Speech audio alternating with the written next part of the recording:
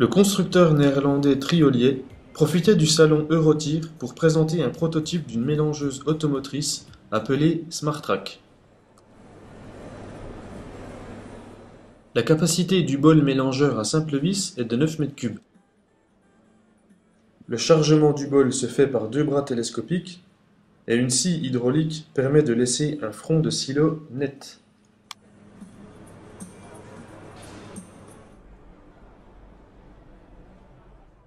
Le chauffeur conduit et gère totalement la machine depuis le poste de conduite.